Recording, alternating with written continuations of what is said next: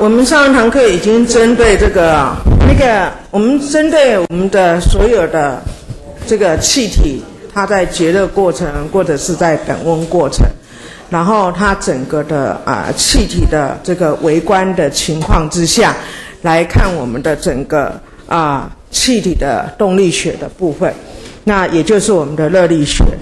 那我们今天我们接着来把它这个整个延伸一下。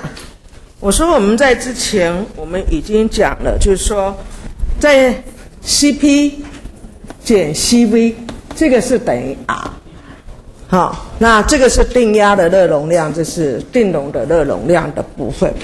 那基本上面这这个关系，我们看到的是啊，这个只是应用在一个啊。我们一般的理想气体的情况之下，那理想气体我们在之前啊看到呃课本的 table 的情况之下的话，你可以看到单原子的气体氦氖氖氪山东那一行列的是比较属于遵守这个关系的部分。那基本上面在前面我们在推导整个气体的运动的啊这个。速度跟它的温度的关系的话，你会发现我们在之前推导出来的结果，我说 total 的压力哈，这个是等于三分之一的 rho，然后 v 平方的 bar，这个 v 平方 bar 的话呢，就是这个 particle 的平速度的平方再取平均值，那其实这个就是我们。速度的平方的平均值再开根号呢？这个就是我们讲的均方根值。好，先 square，再 mean，再 root，OK 啊，这是 square，然后这个是 mean，在平均，然后这个是开根号，OK。所以基本上面我们讲。在这个压力的话呢，跟气体的这个啊均方跟速度已经有关系了。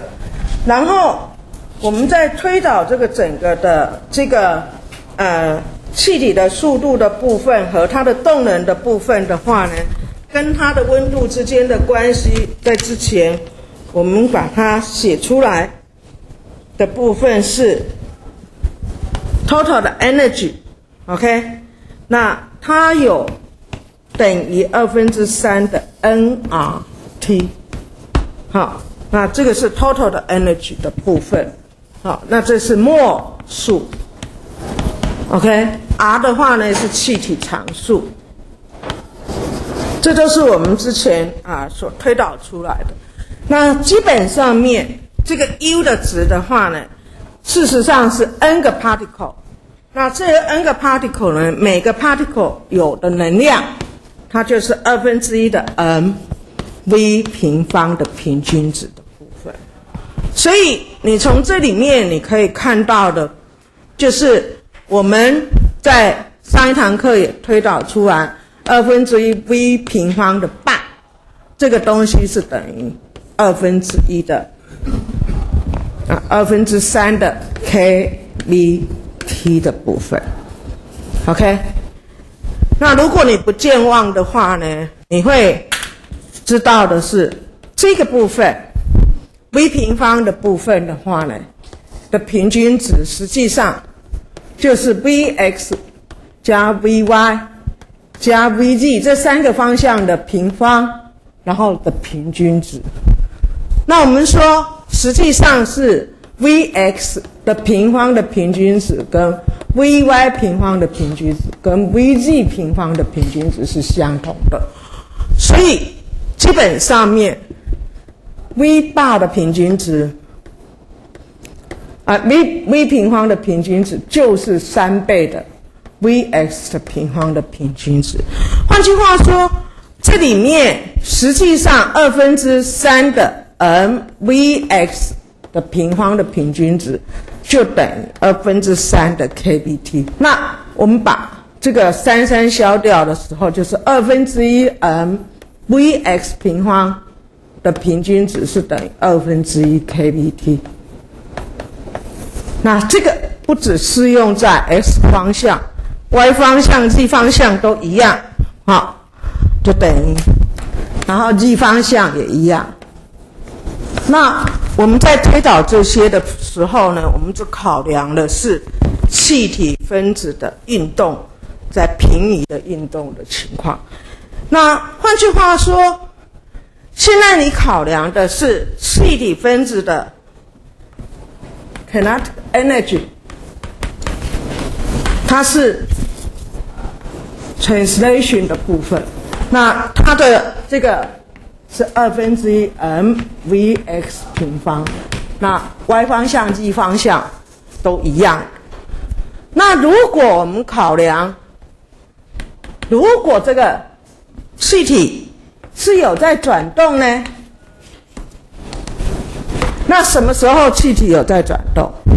我说两个 particle，OK particle，OK，x、y、z 的三个方向的 particle 的部分。那你看到了，这是双原子分子。那双原子分子的话，它可以怎么转？它可以绕着 x 轴转，OK，它也可以绕着 z 轴转。对不对？它唯一是绕着 y 轴转的时候，它几乎没有，因为它这个 particle 我们大概都可以把它当成是很小的 particle，所以它可以是这样子转，也可以是这样子转。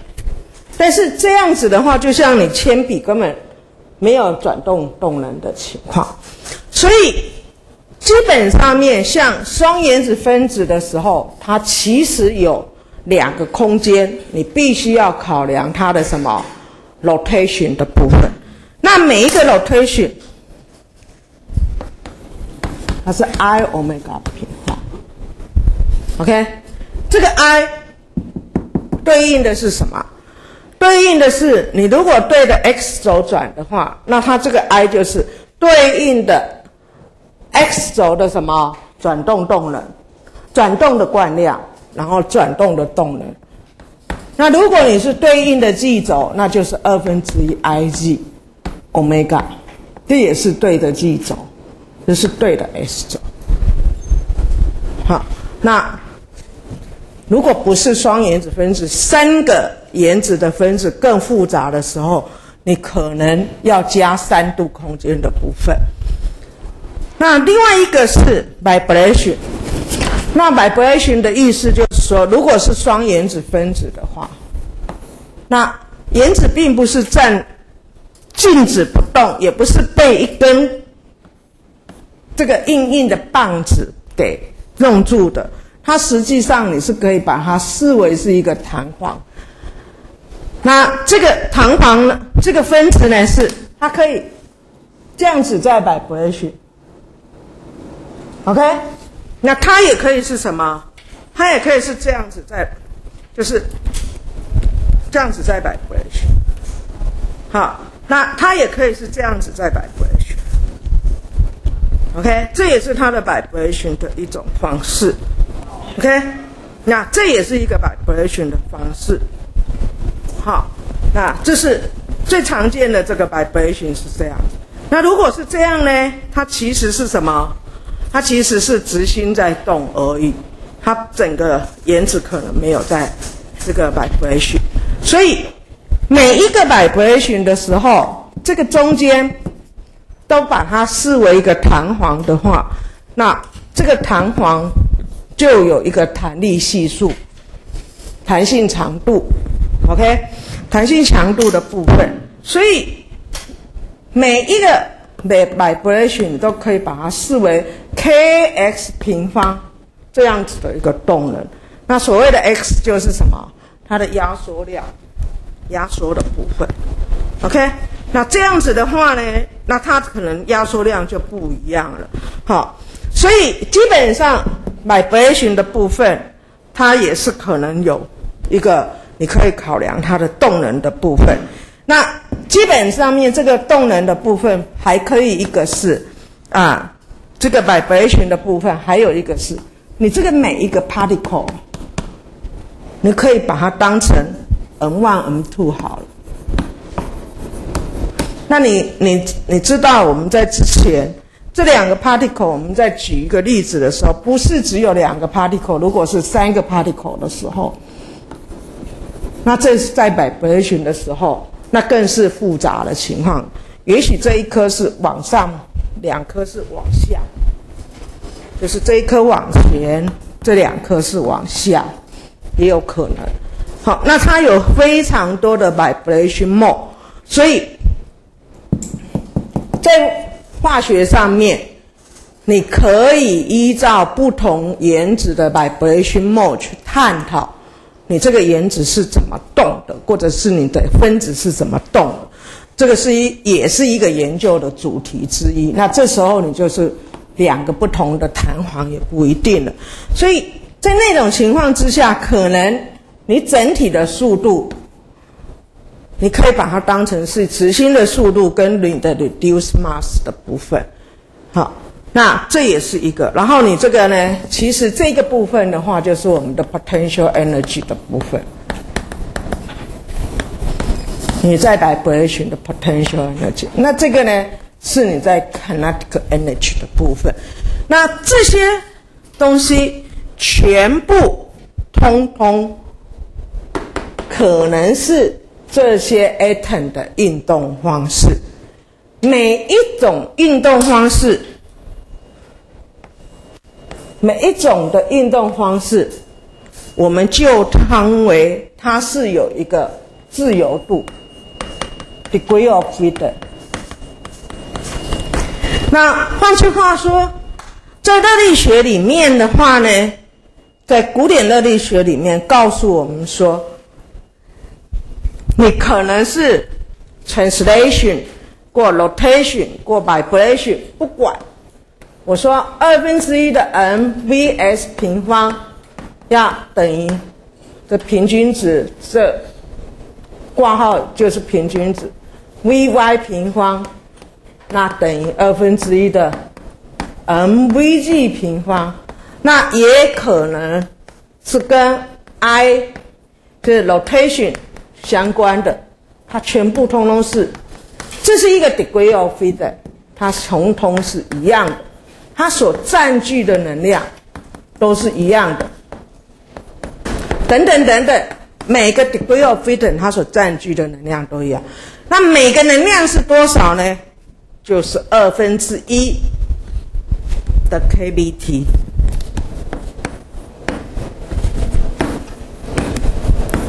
这每一个 particle，那如果一 m 呢？那这个东西就变成是二分之一的 RT 了。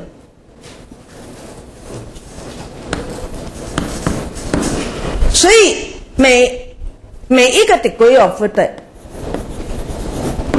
我们在热力学上面，我们把它叫做。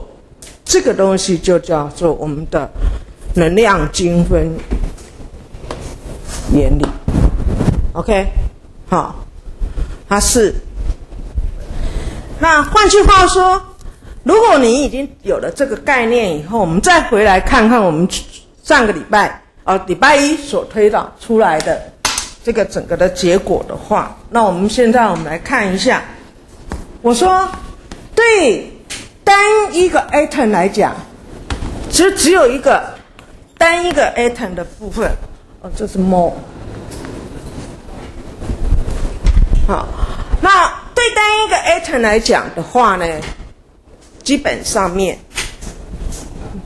一个 atom 在这边的时候，它不可能有什么 rotation、vibration，所以它只有 translation 的部分。换句话说。它只有 translation 的部分的话呢，那它的 total energy，也就是我们在这边讲的 U 的部分，U total energy，每一个 atom，它就是等于二分之一 m vs 平方加 vy 平方加 vz 平方的平均值，那这个就是二分之三的 R T，。然后你看看你有多少个墨。OK，所以对 CV 来讲的话，CV 是什么？CV 就是 long U long T。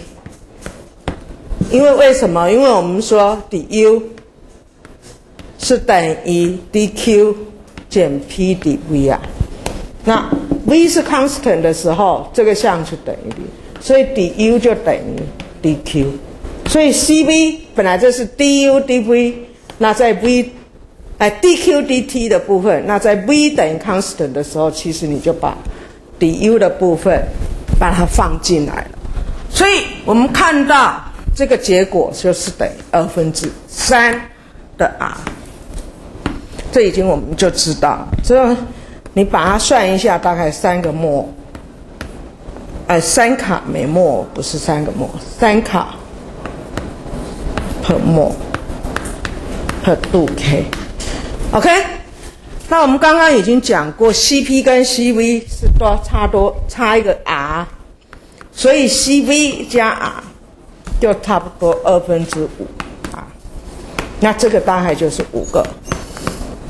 每墨每度 K，OK，那我们的伽马值 Cp 减 Cv，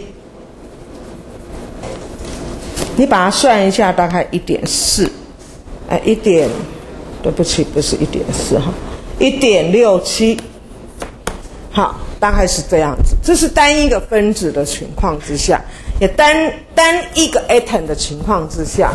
那这是我们已经了解的了部分。那再来，我们来看一下氢气、氧气，好，这些都是双原子的分子。那双原子的分子的部分的话，就回归到我们刚刚看到的，这第二种情况，它可能就是一个哑铃型。我们说我们的 atom 基本上面，它有三度空间，三个 degree of freedom。它是什么？它是 translation。然后呢，你看到了，它有两个 degree of freedom，它是 rotation。所以基本上面，这是我们可以把它当成是，还有 z 方向，你沿着 z 轴转动跟 s 轴转动。所以你把它加起来的话，我们看到你的 total 的 energy 的部分的话呢？这 translation 的部分就是跟这边一样，二分之三，OK，好，我把它写更详细一点好了。三度的空间，三度的 degree of freedom，每一度都有二分之一的 RT，OK，那两度的 rotation，每一度都有二分之一的 RT 的 energy，好，对每一个摩尔来讲。那一共有几个摩尔呢？你一共有 n 个摩尔，所以你加起来 n 个墨的 total energy 就是等于二分之五个 nRT。所以我们看到 Cv 是等于多少？Cv 呢？基本上我这边还是除以 n 分之一，都没有除，会把 n。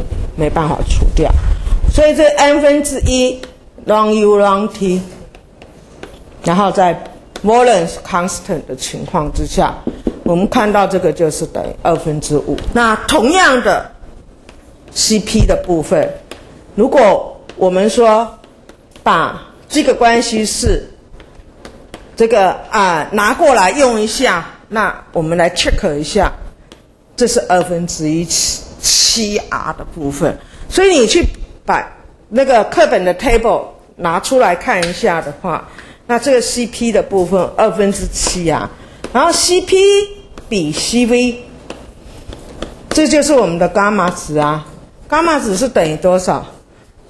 呃，五分之七的部分就是是我们的双原子分子的情况。那也许有同学会说，那多原子呢？那多原子的部分，我觉得也没有什么的地方，你就看看你这个原子啊，到底有多少度的 translation？大概都是三度，三个 degree of 的的 translation。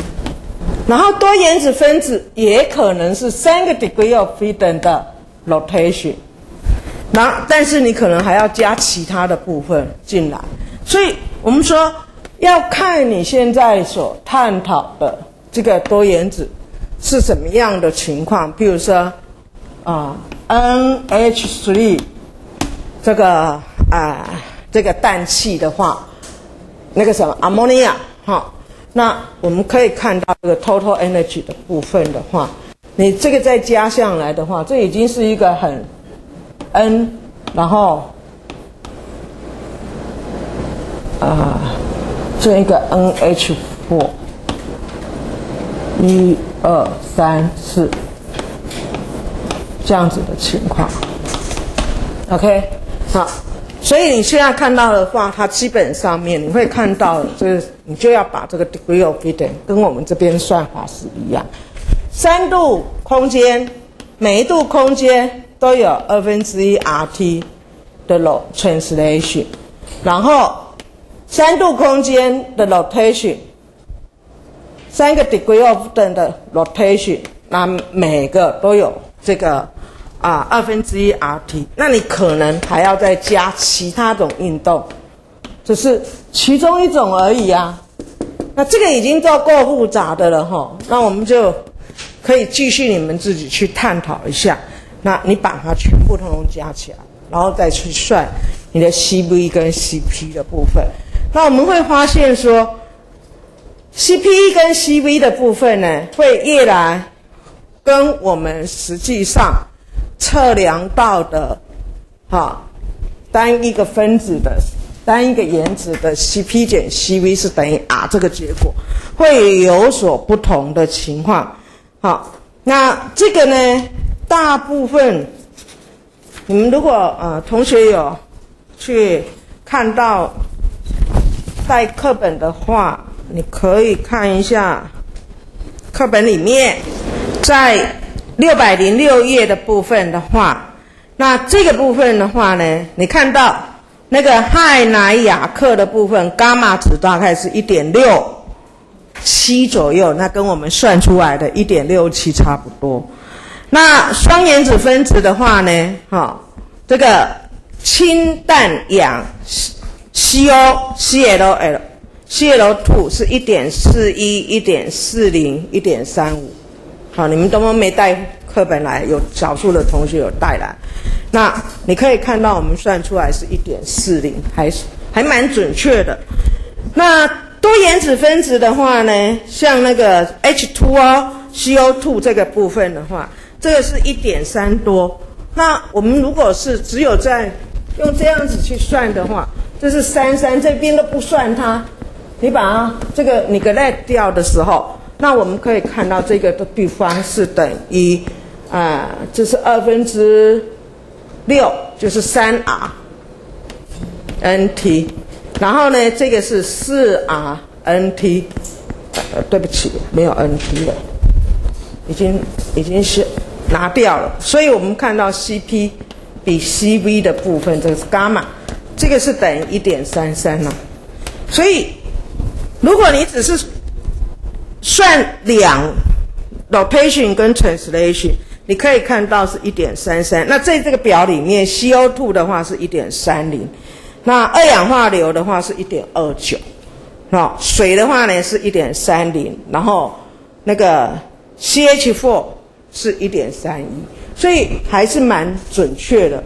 好，那你可以看到我们在整个的气体动力论里面。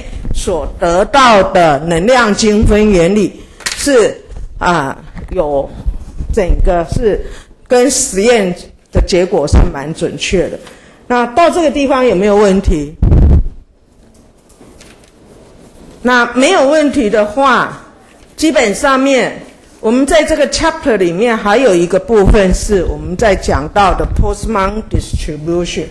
那这个 distribution 我们在后面还会再讲到。因为所有的 distribution 不是只有 Postman distribution 而已，那还会有这个 Post-Einstein 的 distribution，跟费米狄拉克的 distribution 就有三种最常看到的 distribution。那这个 distribution 是古典的 distribution，在六百一十四页里面，就是气体的分子。好，那它跟它的这个速度的关系，或者是跟能量的关系，它整个 distribution 的部分，它是一个这个 post 呃这个 post Einstein 的呃，我们说这个是。Postman 的 distribution，好，那这个 distribution 所告诉我们的是什么呢？我们说，在 v 到 v 加 dv 这两个速度之间，你找到粒子的霍兰率是多少呢？你就是把这个积起来，v v 加 dv。这个底下的面积，那我们把这一些叫做 n v，n v，d v，这个是它的 probability，在这个 v 上面找到粒子的霍兰率，那你把它加起来就是它的 probability 的部分，这是我们的这个整个 distribution 所。你找到粒子的霍兰率是多少？就是 probability。